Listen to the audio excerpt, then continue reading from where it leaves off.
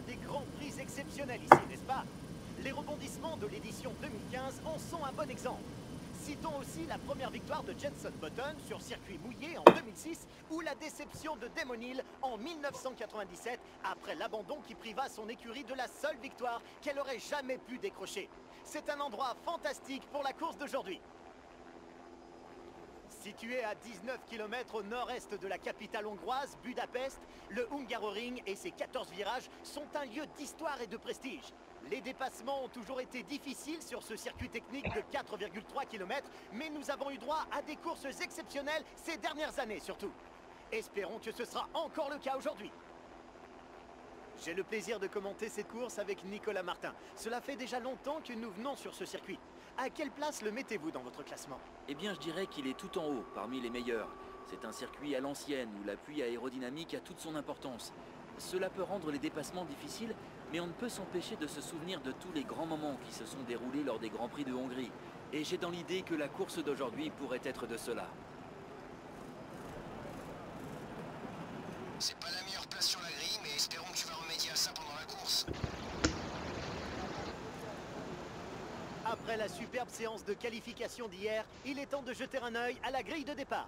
Nico Rosberg part en pole position après une séance de qualification très disputée, suivi de l'Australien Daniel Ricciardo en deuxième position après sa belle performance. En ce qui concerne le reste de la grille, Raikkonen, Vettel, Max Verstappen et Hamilton, Massa, Bottas, Alonso et Romain Grosjean, Button, Sainz, une As et Perez, Hülkenberg, Verline, Rio, Arianto et Marcus Ericsson, Magnussen et Palmer, Daniel Kvyat et Philippe Nasser qui part dernier sur la grille.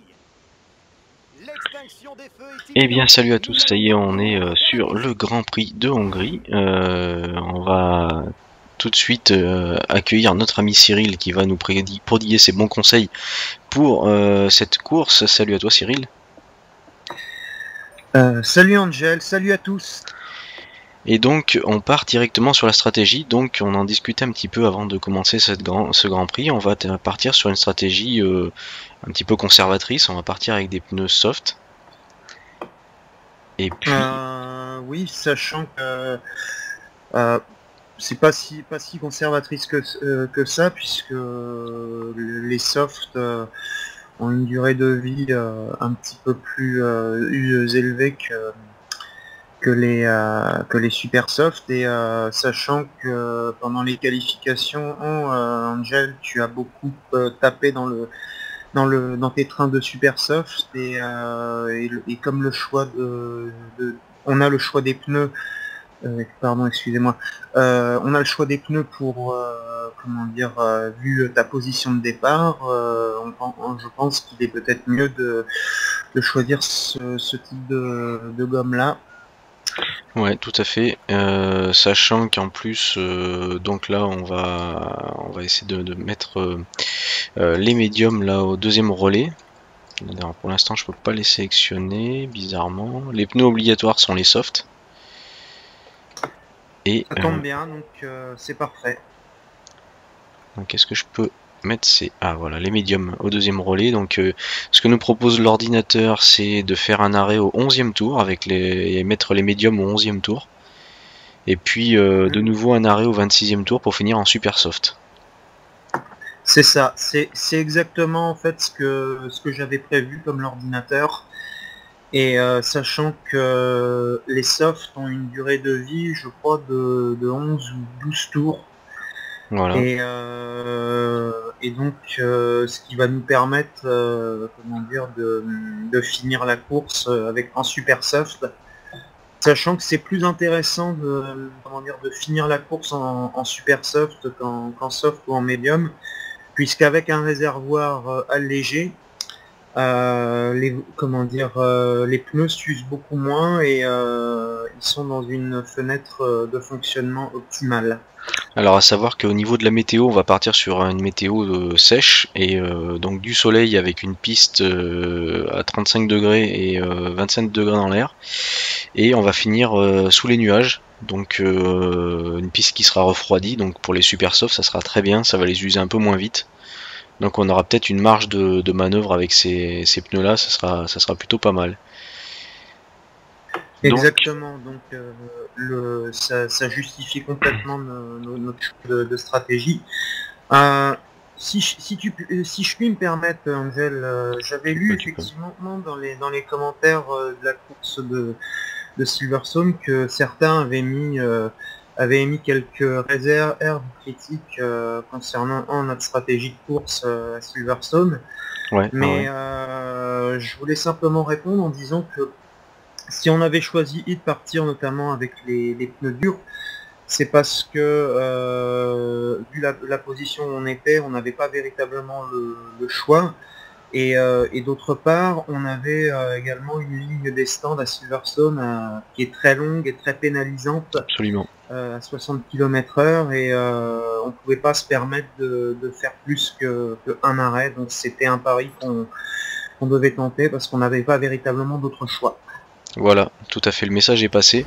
Donc je vais faire le tour de formation, si tu as encore des choses à rajouter.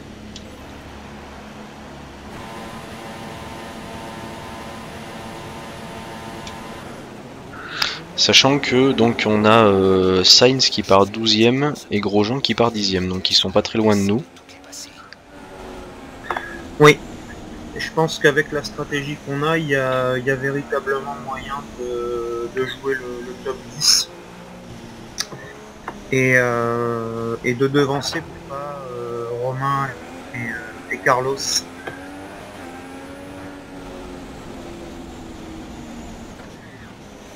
Ce qui serait intéressant, c'est de savoir euh, justement euh, les pilotes qui nous entourent, euh, quelles sont leurs- options, euh, leurs pneus de départ. Alors je vais te dire ça tout de suite, donc on a des Perez qui est derrière nous en super soft, devant nous Sainz donc qui est en super soft aussi. Devant Sainz on a Button qui m'a l'air d'être en... Attends, deux secondes que j'arrive dans une courbe pas très rapide pour pouvoir voir les pneus. J'ai l'impression qu'il est parti en soft lui aussi. Et Grosjean je suis pas encore en mesure de te dire les pneus qu'il a, parce qu'il est un peu Il loin. Il est en super soft ouais. Grosjean super soft, il est dixième. Il peut être en super soft.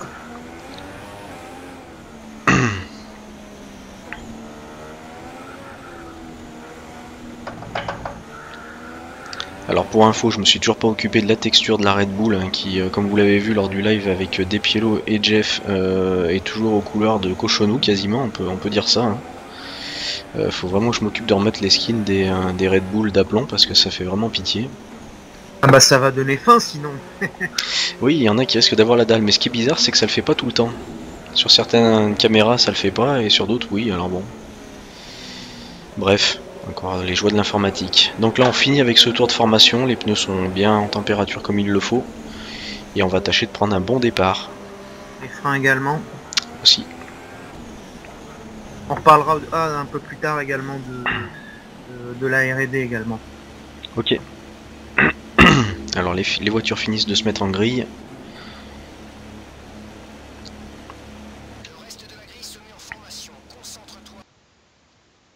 Et le départ va être donné, les feux s'allument pour ce Grand Prix de Hongrie. Et ils s'éteignent et on prend un bon envol, on prend l'avantage sur euh, Carlos Sainz, on revient sur euh, Jenson Button et Grosjean.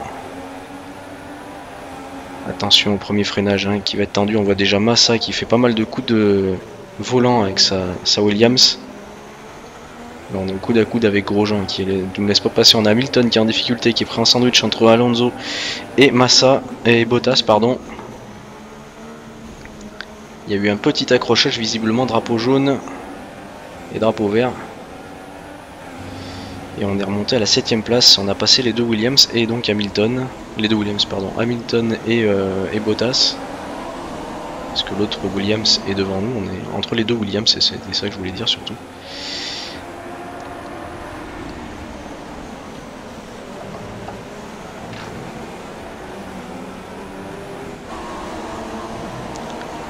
C'est une bonne opération que tu nous fais là Angel. Sois un petit peu patient avant d'attaquer, que les pneus euh, soient véritablement euh, dans leur fenêtre de fonctionnement. Oui tout à fait. Surveiller d'ailleurs l'usure des pneus.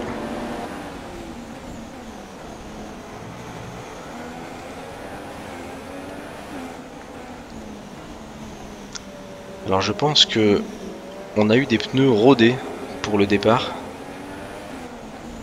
puisqu'on a déjà euh, 22% d'usure à l'avant gauche et 19% sur les trois autres roues.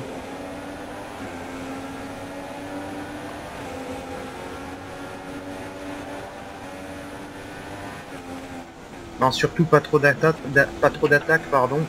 Euh, tu gardes euh, une conduite souple et légère.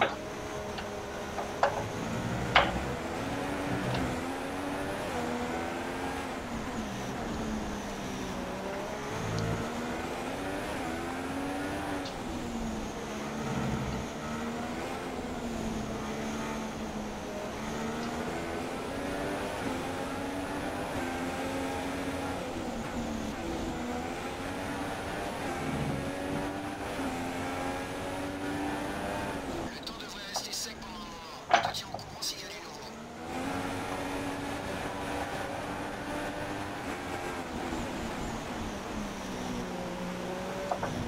Est-ce tu vois des pilotes en super soft qui commencent à s'arrêter Pas encore. Tout ce que je vois, c'est que pour l'instant, il y a le groupe de tête qui est tout regroupé.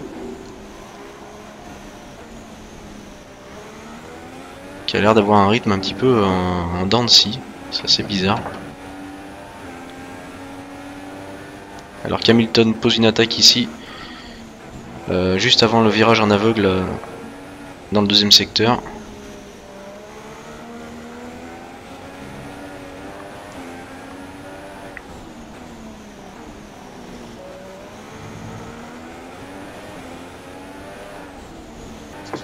Et là, donc les premiers arrêts au stand ont lieu. Grosjean qui est rentré au stand.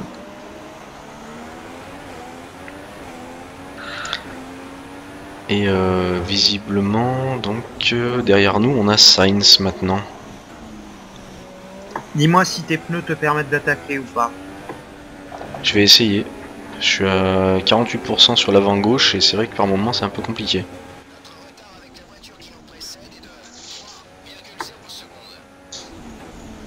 Va garder le... gar- Garde ton rythme pour l'instant. Euh, Tu peux faire euh, durer ces pneus jusqu'à la fin du dixième ou pas? Euh, je vais essayer. Peut-être 9ème à la limite. Bon, du coup, euh, Angel, ça veut dire que pour le dernier relais de la course, les super subs, ce sera pas possible de les monter. Hein? Ouais. Préfère te le dire tout de suite. Hein. C'est pas grave.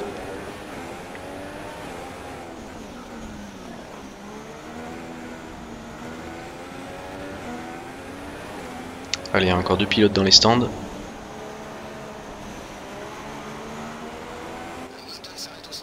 Hamilton qui rentre dans les stands.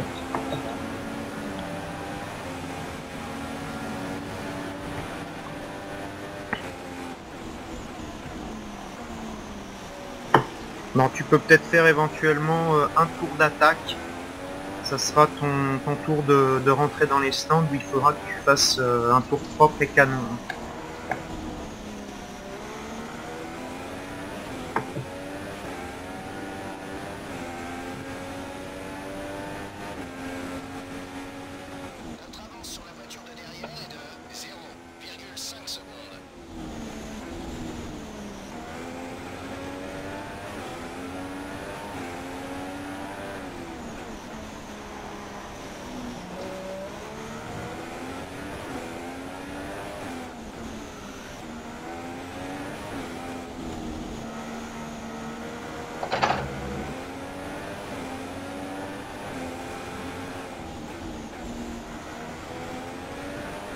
J'ai beaucoup de blocage de roues à l'avant.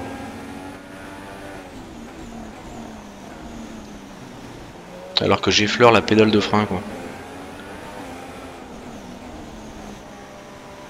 T'en es à quel tour exactement On va rentrer dans le 9ème tour. là. Les pneus ils sont à combien là 56 à l'avant gauche, 42 à l'avant droite, 48 à l'arrière gauche, 45 à l'arrière droite. Ah, C'est l'avant gauche qui, qui souffre beaucoup Ouais. ici. Et Sainz qui rentre toujours pas. Il est derrière toi Ouais.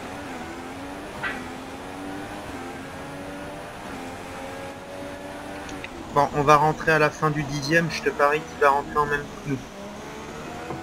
Donc on va vraiment jusqu'au dixième tour. là. Euh, si Sainz ne, ne s'arrête pas, euh, je vois pas l'in- je vois pas l'intérêt de, de comment dire de s'arrêter. Sachant qu'il est en super soft, mais comment il fait C'est pas possible.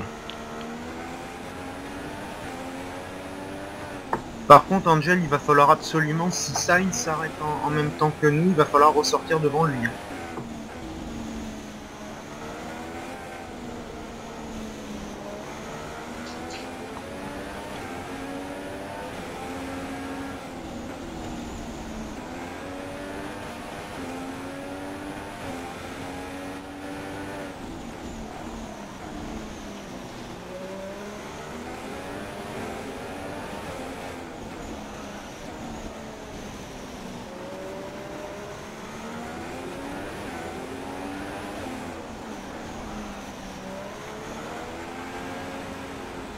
Il rentre dans les stands. Toi aussi. Ah bah, je l'ai vu euh, une fois que j'ai passé la ligne des stands qui est rentré.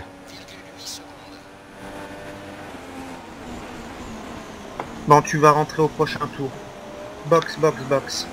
On a, on a Rosberg qui euh, vient de ressortir des stands, qui est ressorti en médium.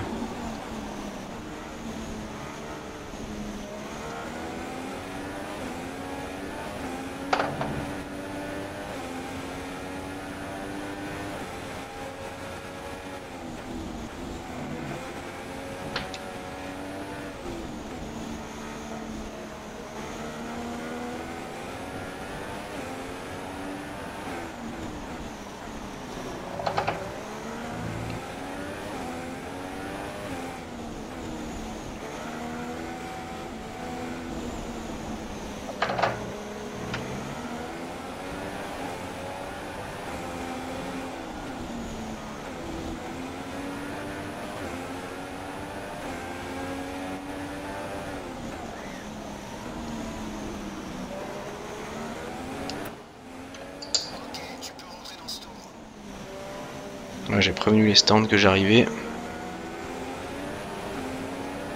En espérant qu'on ressort devant Sainz.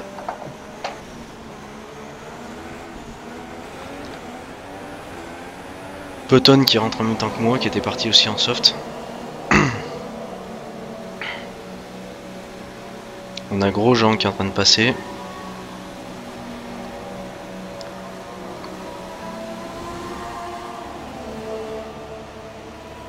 Fonce, fonce, tu reprends la course à la sortie.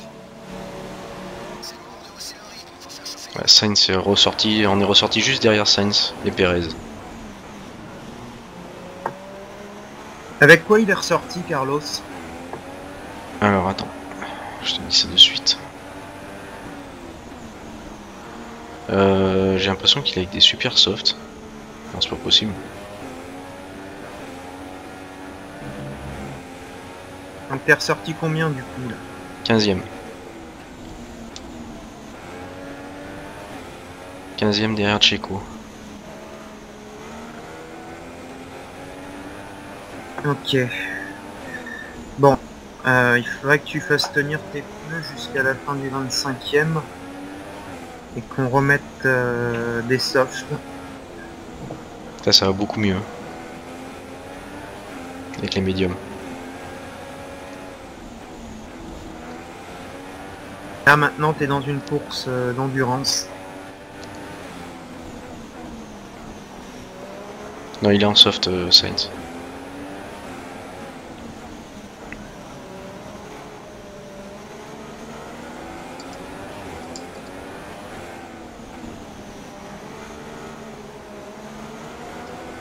Je me demande s'il sera pas obligé de mettre euh, les médiums.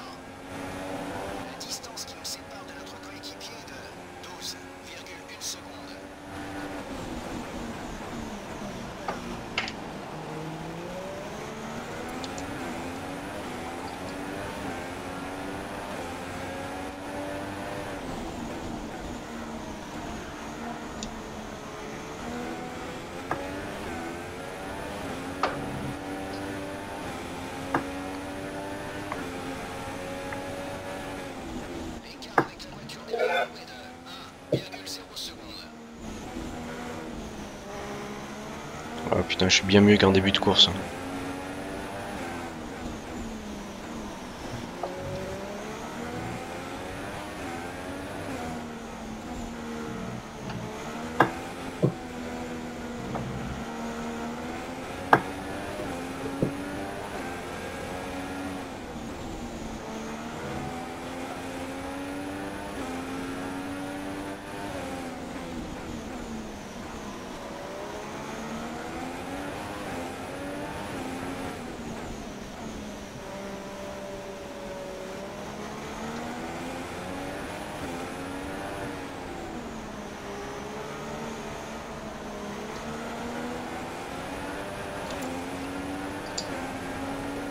Allez, à l'aspiration avec le DRS sur Sainz.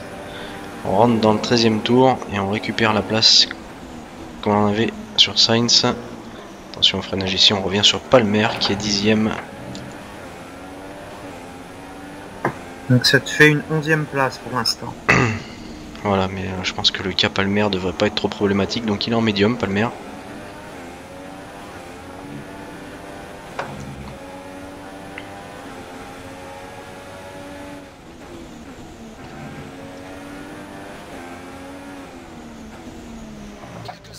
Rosberg est hors course. Là t'es en VFC, c'est ça Hmm. Mets-toi en, comment dire, en, en mix 1 et, euh, et fais attention au restart.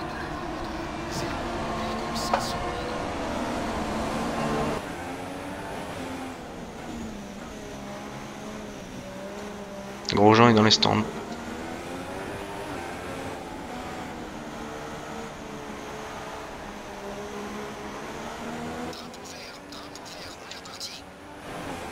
Voilà, la course est repartie.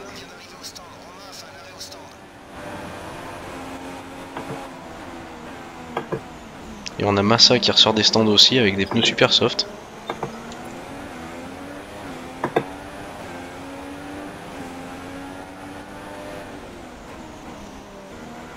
Romain, il a un petit peu profité de la VFC pour s'arrêter. Ouais, j'ai l'impression.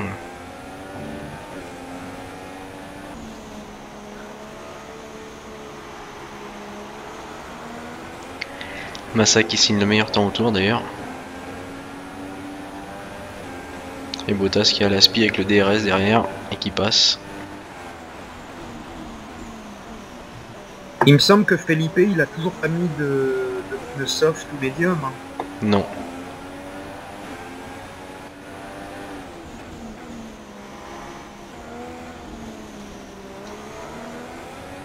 Ah, il est sans doute sur trois arrêts, lui.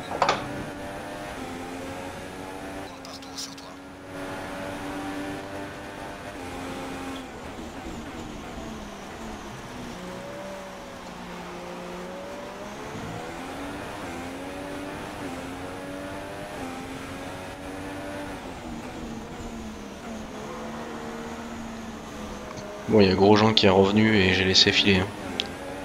On a fait une pseudo semblant de lutte. Il était quoi en soft ou super soft Il est en soft, ouais. Ouais, donc pas la peine de résister.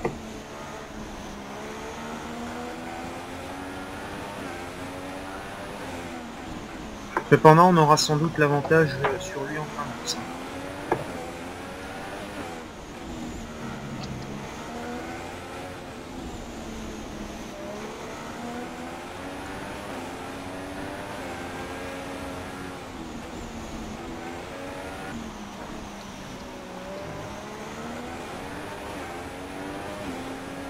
peut rallonger le, le relais de deux tours ou pas, Angel? Ça devrait le faire. Alors Kulkenberg abandonne. Voiture de sécurité. Bon. Il y a un pescar? Il y a un Pescar. Mais je peux pas rentrer, je viens de passer la ligne des stands.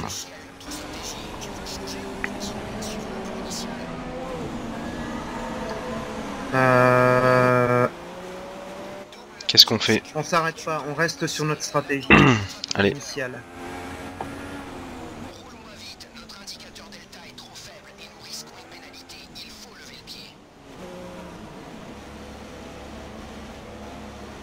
Mais ils sont en cours. On avait fait ça de toute façon à Silverstone et euh, rentrer dès que le, le Pescar était sorti et euh, ça avait pas marché donc on va changer de, de tactique. Non mais sans déconner. Qu'est-ce qui se passe Le coup du delta une fois de plus. Donc euh, t'es en course, tu suis Grosjean, tu es à la même vitesse que lui.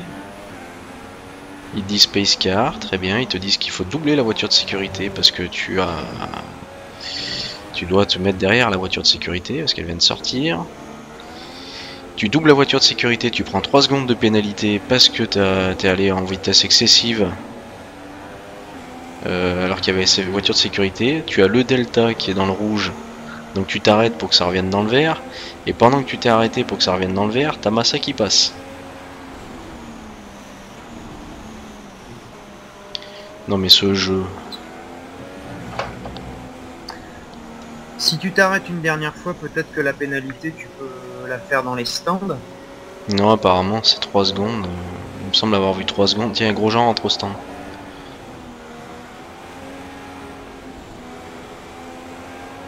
Bon, vu que tu as de la réserve de, de carburant, tu peux éventuellement euh, comment dire, euh, attaquer si tu, si tu le souhaites. Ouais, on verra ça à la reprise. Allez, un- Comment? On voit à la reprise. Quand le safety car sera rentré. Il faut absolument que tu maintiennes euh, tes températures. Ouais.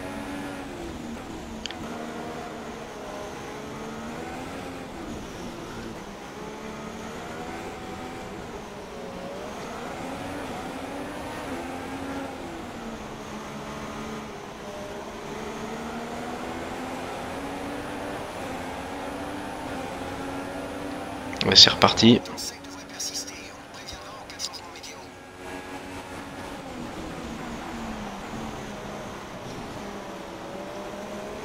La fenêtre de ravitaillement est ouverte.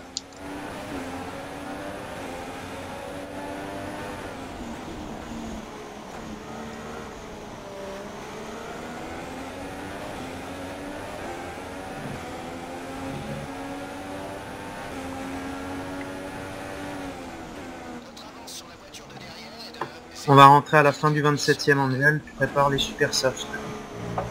Ok. Putain, je suis dans mes tours de qualif là.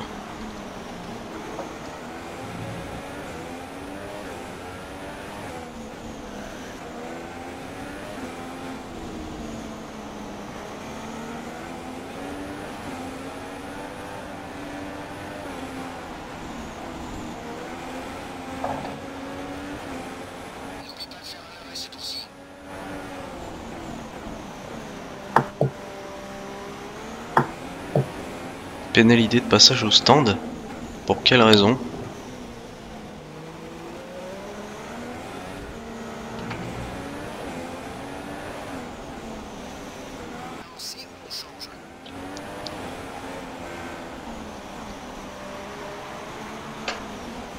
Hop là, on rentre dans les stands. hein. Je suis à la 7ème place pour l'instant.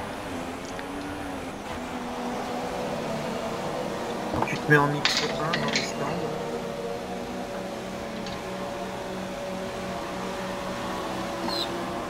Mix 2 à la sortie. Et c'était un drive-through. Voilà, impeccable. On va foutre en l'air une stratégie. T'es ressorti combien là? Eh ben, 19ème. Voiture de devant roule en pneus super tendres. Oh merde DRS a été autorisé, DRS disponible.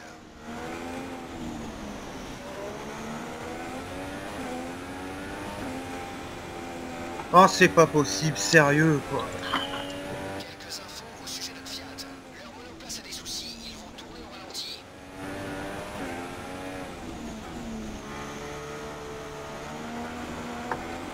Bon, on va mettre quand même les...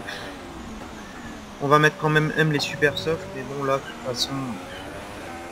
Oh, puis fais, ce- que tu veux de toute façon, ça sert plus à rien en.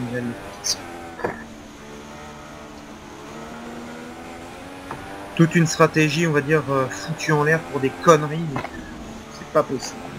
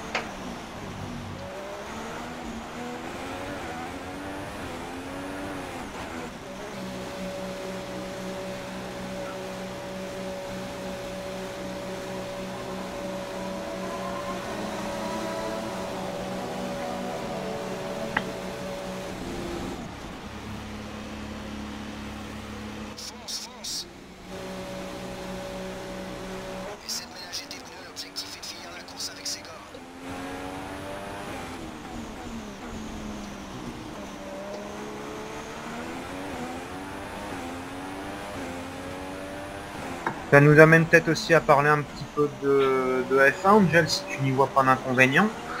Non, non, vas-y, vas-y. On va finir ces trois tours qui restent, enfin de- ces deux tours qui restent là. Bah écoute, euh, concernant le, le calendrier, euh, on sait que Hockenheim euh, n'a absolument rien signé. D'après ce que ce qu'avait dit le, le patron du circuit, un certain Georg Seiler. Et euh, il y a également d'autres grands prix qui sont menacés. Et euh, on, pense également à notamment à des grands prix comme Singapour, on en a parlé, et également Sepang. On sait que Eh oui.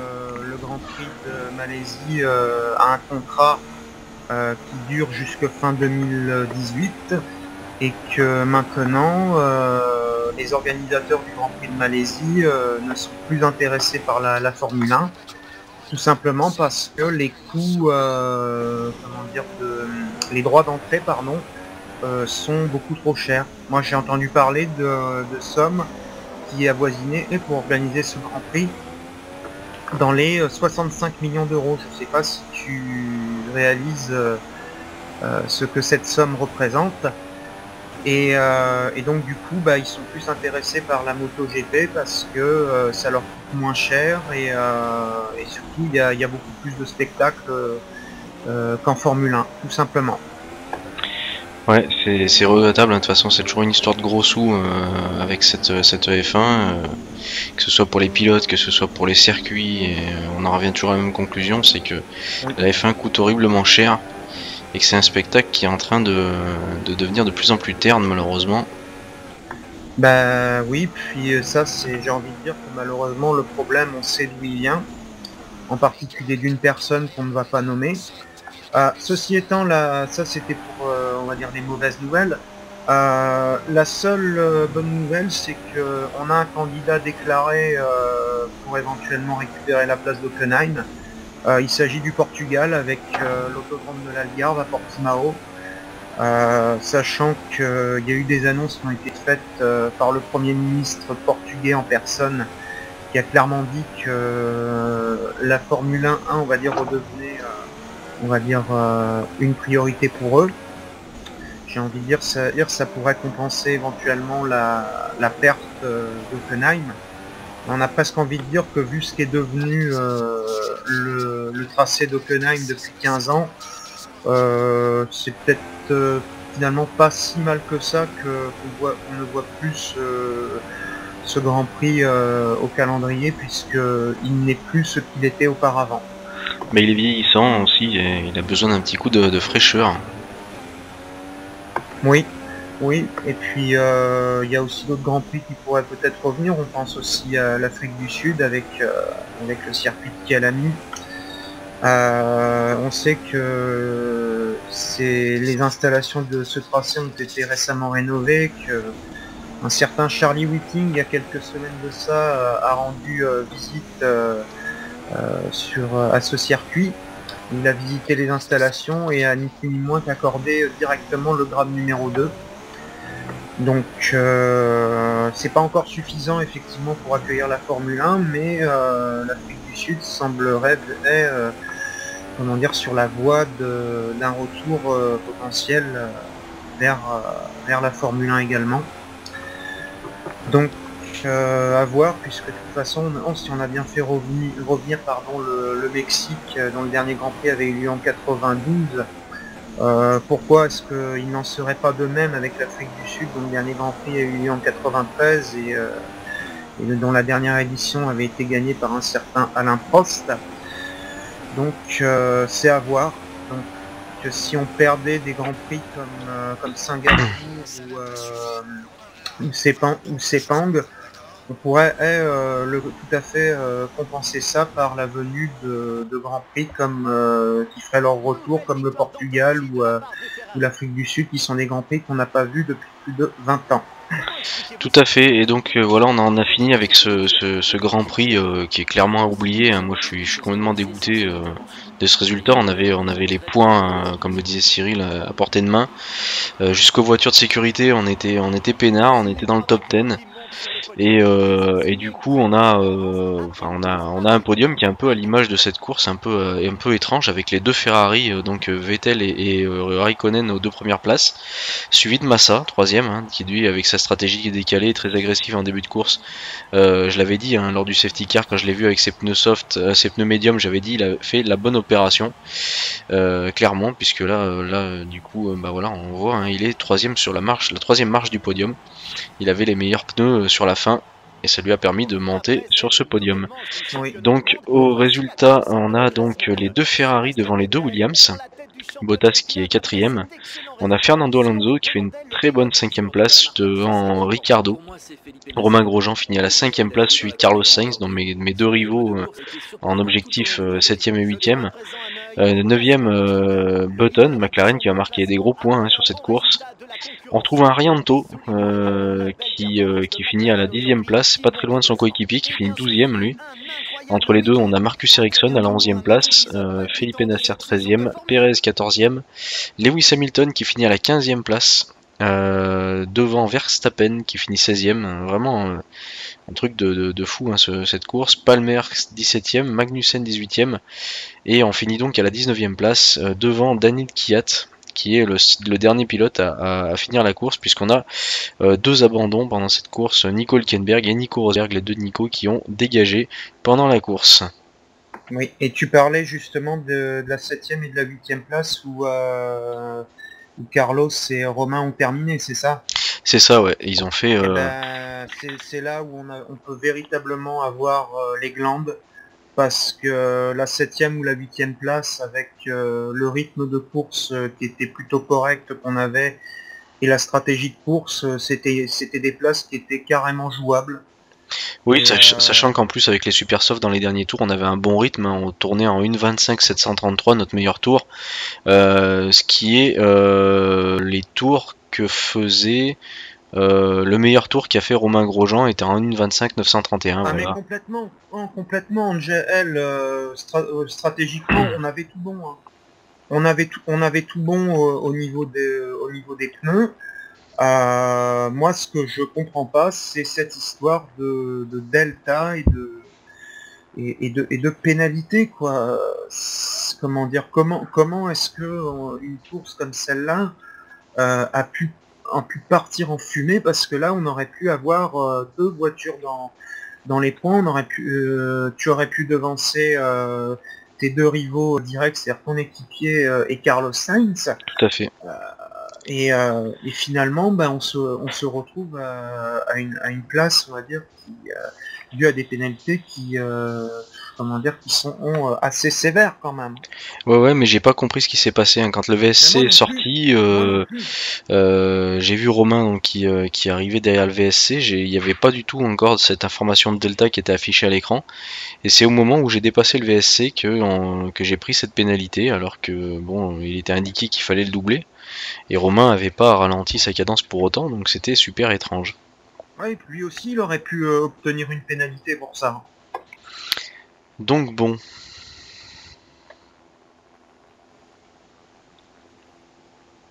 Eh bien, écoute, euh, je crois que, comme ça a été dit tout à l'heure, eh ben, on va penser à, à la prochaine euh, course avec, euh, avec Ring, hein, dont on sait qu'en IRL, c'est même pas sûr qu'on le retrouve euh, l'année prochaine au calendrier. Donc, euh, est-ce que tu penses pouvoir euh, un petit peu redresser la barre et faire oublier ces dernières courses qui ont été, comment dire, bah, oubliées, voilà, tout simplement. Bah, on va tâcher de faire au mieux en tout cas, hein, ça c'est clair. euh, parce que là, ça fait euh, deux grands prix où ça se passe pas bien. On avait fait une bonne, on avait bien remonté la tête euh, en Autriche. Et puis là, on remet la tête un petit peu dans le, dans le trou et euh, il va falloir qu'on s'en sorte parce que là, c'est pas bon Ouais, du ça, tout. man- ça manque un petit peu de, de régularité. Encore à Silverstone, euh, c'était logique parce que tu j'étais pas dedans, c'était pas une euh, c'était pas une course où on attendait véritablement euh, grand chose.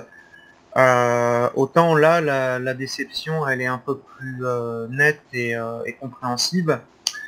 Donc c'est vrai que là le, coup est un petit peu dur à encaisser, mais pourtant il faudra bien l'encaisser et passer à autre chose. Du classement euh, du championnat du monde des pilotes à l'issue de ce Grand Prix, on a les Sébastien Vettel qui reprend le leader hein, de, ce championnat. Devant Lewis Hamilton, euh, Nico Rosberg reste à la troisième place. Euh, Raikkonen quatrième, Verstappen cinquième, sixième Valtteri Bottas. Massa prend une place sur Ricciardo qui descend, enfin qui monte à la septième place et Ricciardo descend à la septième place. Pour l'instant, on est toujours euh, neuvième, mais attention derrière Carlos Sainz hein, qui est revenu à, à, à 5 points de notre neuvième place et euh, 11e Felipe Nasser et 12e Marcus Ericsson. On va retrouver euh, notre euh, Romain Grosjean à la 17e place qui dégring- dégringole face à Fernando Alonso hein, avec son résultat sur ce Grand Prix. Au championnat du monde des constructeurs, on a euh, Mercedes qui est toujours devant, Ferrari et Red Bull, Williams est 4 on est 5 pour l'instant. Toro Rosso remonte petit à petit, il reste plus que 3 points d'écart avec notre écurie. Ils ont pris l'ascendant sur Sauber qui dégringole très logiquement. hein.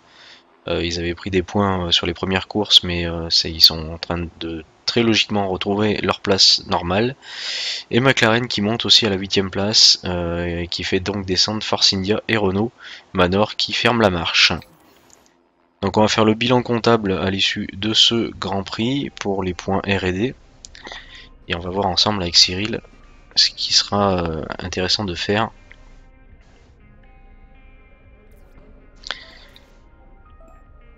Donc voilà, avec ce que l'on vient de prendre, on a 740 points de R&D à passer. Et c'est sûr qu'au niveau du face à face, on est pour l'instant euh, perdant, bien qu'on ait euh, repris un peu de notre retard sur, sur Sainz sur cette course-là, puisque malgré qu'il ait euh, fini devant nous et qu'il ait eu aucune pénalité contrairement à nous, euh, on a fait quand même le secteur le plus rapide dans les trois secteurs et le meilleur tour par rapport à lui. Donc euh, on, a, on a récupéré un peu des points, on est à 14 à 21. Donc euh, on a encore une chance de repasser devant Sainz. Il faudra pour ça terminer devant lui à Hockenheim. Alors par contre, euh, au niveau du statut du pilote, euh, bah là on est en train de tomber dans le rouge, hein, clairement. Euh, quoi qu'on a resté 14e ou mieux, qui est un objectif qu'on a réussi à, à obtenir euh, au niveau du championnat des pilotes, ce qui fait qu'on on- ça, ça nous sauve la mise. On n'aura perdu qu'un point sur ce, sur ce Grand Prix, on est on a 4 sur 10. Donc il va falloir se ressaisir aussi, hein, parce que sinon on va finir par retourner au deuxième pilote. Et donc euh, à, à se méfier quand même, hein, tout ça. Oui. Euh, donc euh, tu me dis 740 points pour euh, la R&D. Donc euh, il reste dans les améliorations de niveau 2 à faire euh, le monde Alors, et Le monde qui cite est le carburant. Donc le carburant c'est 400 points et le monde qui cite c'est 750.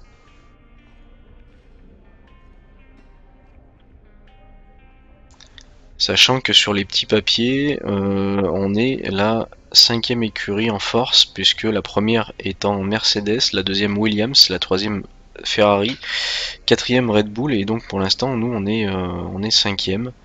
Euh, derrière, euh, bien derrière, hein, on a McLaren, Force India, Toro Rosso qui risque de prendre l'ascendant d'ailleurs sur ces deux écuries. Manor, Renault et Sauber, Sauber qui est complètement à la traîne. Euh, Donc, euh, voilà. Attends, attends, donc tu me dis combien pour le, le monde qui cite et, euh, et le carburant? En gros, pour faire les deux, il nous manquerait 410 points. Ah bah c'est parfait, écoute... euh, Ce qui veut dire qu'à l'issue des essais euh, libres de, du prochain Grand Prix, on peut lancer la R&D. Oui, et ben écoute, euh, dès le prochain Grand Prix, ce qu'on va faire effectivement c'est ça, c'est-à-dire que on va lancer, comment dire, la recherche R&D sur le monde qui cite et la gestion du carburant. Mm. Après, pour la deuxième partie de saison, euh, c'est là où je veux en venir parce que j'en ai, euh, je, t'en avais un petit peu parlé. Euh, donc, il faudra qu'on on s'attaque ensuite sur les améliorations de niveau 3. Et, l'idéal, ça serait qu'on puisse avoir fait les améliorations de niveau 3 et arrêter le développement de l'auto au soir du Grand Prix du Japon. Ok. Donc, euh, donc d'ici là, une fois qu'on aura lancé la recherche sur la R&D, donc on se met à l'économie pour, euh, comment dire, euh, faire le plus d'améliorations possible sur sur un Grand Prix pour être, comment dire, pour se mettre à jour. Et à ce moment-là, tu me tu me rediras que- combien de points 1 il faut et on, on avisera en fonction des priorités. Très bien. Écoute, euh, le message est reçu, on va faire euh, tout ce qu'il faut pour. En tout cas, j'espère que cette vidéo vous aura plu malgré euh, les, aléas de- du jeu et de la course. Je vous dis à très bientôt pour les suites de nos aventures sur la chaîne. J'espère que ça vous a plu malgré tout. À très bientôt Cyril, merci à toi et puis Merci Angel, À merci à plus. tous et on tâchera de, de faire mieux la, la prochaine fois où ça sera la bonne et on espère faire au minimum un top 10. Ça marche. Ciao à tous Allez à plus, ciao ciao.